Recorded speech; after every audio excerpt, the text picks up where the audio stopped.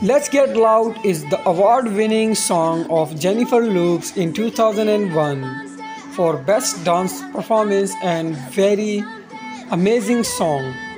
Stephen Hauser, electronic cover of Jennifer Lopez' Let's Get Loud reimagined twice. He made last year one of the cover song and one in this year and now is re-uploaded by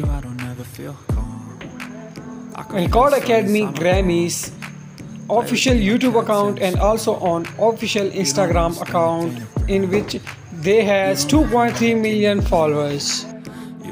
Stephen Hauser also very excited about this song and he always want to make Let's Get Loud cover version to be get viral and he was very excited in making of Let's Get Loud. He personally very love this song and always show his love to Let's Get Loud in his Instagram videos and also on other social media accounts. So that's it. Must comment your opinion in the comment section. See you soon. Bye bye.